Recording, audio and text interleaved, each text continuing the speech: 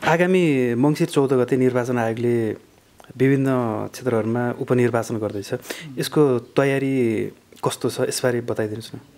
अब उपनिर्वाचनको तयारी भन्नाले अब मेन गरेर उपनिर्वाचनको कार्यक्रम हो। त्यो कार्यक्रम हाम्रो घोषणा भइसकेको छ र राजपत्रमा प्रकाशित पनि भइसकेको छ। जसअनुसार चाहिँ प्रतिनिधि सभा र प्रदेश सभाको मनोनयन पत्र दर्ता गर्ने मिति कार्तिक एक्काइस गतेलाई तयार भएको छ भने स्थानीय तहको मनोनयन पत्र दर्ता गर्ने मिति कार्तिकको सत्ताइस गतेलाई निर्धारण भएको छ।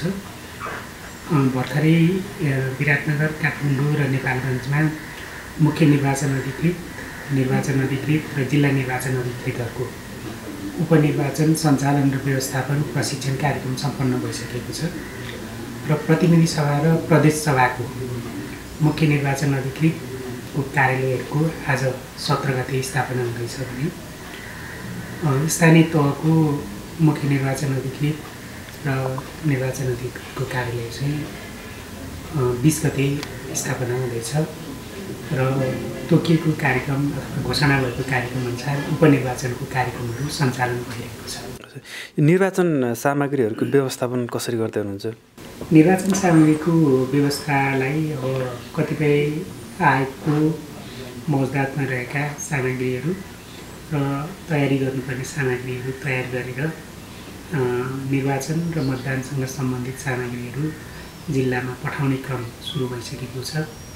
मतदाता शिक्षाका निम्ति प्रचार प्रसारका सामग्रीहरू पोस्टर ब्रोसियर लगायतका सामग्रीहरू तयार गरेर जाने क्रममा छ। त्यस्तै गरेर अन्य सामग्रीहरूको पनि तयारी हुँदैछ जस्तो अब मतपत्र छपाईका कार्यका लागि गर्नुपर्ने तयारीहरू चाहिँ हुँदै गरेको अवस्था छ।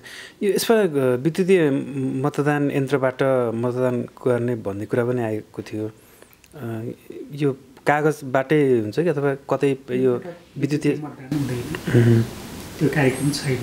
यो मतदाताहरूको सङ्ख्या कतिको बढेको छ अघिल्लो पटक भएको निर्वाचनभन्दा कुन समयसम्म अध्यावधिक भएका मतदाताहरूले चाहिँ मतदान गर्न पाउँछन्?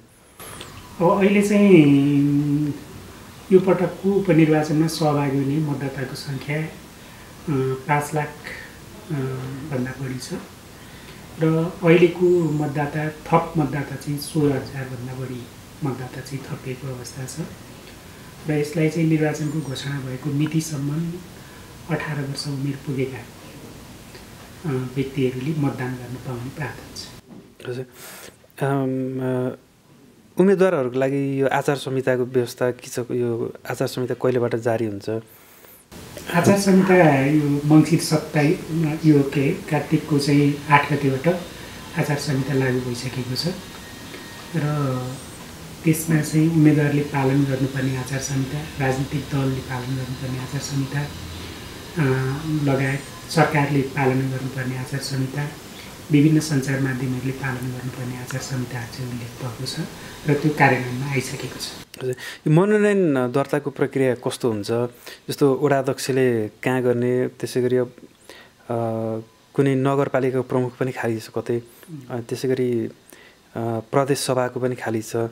यो कुन कुन ठाउँमा कसरी मनोनयन दर्ता गर्ने स्थल तोकिन्छ अथवा जिल्लामा गएर गर्ने कि के छ यसको प्रक्रिया? मनोनयन पत्र दर्ता गर्ने काम चाहिँ सम्बन्धित मुख्य निर्वाचन अथवा निर्वाचन अधिकृतको कार्यालयमा मनोनयन पत्र दर्ता गर्ने काम हुन्छ। प्रतिनिधि सभा प्रदेश सभा र स्थानीय तहका लागि तोकिएको मुख्य निर्वाचन अधिकृतको कार्यालयमा मनोनयन पत्र भनेपछि यो जिल्लामा हुन्छ कि अथवा सम्बन्धित निर्वाचन हुने ठाउँमै हुन्छ? अब प्रतिनिधि सभा र प्रदेश सभाको मुख्य निर्वाचन अधिकृतको कार्यालय जिल्ला सदरमुकाममा हुन्छ। त्यस कारणले मनोनयन पत्र दर्ता गर्ने काम प्रदेश सभा र प्रतिनिधि सभाको हकमा जिल्ला सदरमुकाममा हुन्छ। स्थानीय तहको हकमा मुख्य निर्वाचन अधिकृतको कार्यालय स्थापना चाहिँ स्थानीय तहको केन्द्रमा गाउँपालिका अथवा नगरपालिकाको केन्द्रमा चाहिँ कार्यालय स्थापना हुने भएका कारणले गर्दा त्यही केन्द्रमा गएर अथवा त्यहाँ रहेको मुख्य निर्वाचन अधिकृतको कार्यालयमा मनोनयन पत्र दर्ता गर्नुपर्ने हुन्छ। सबैको सबैभन्दा राम्रो। Ratopati dot com.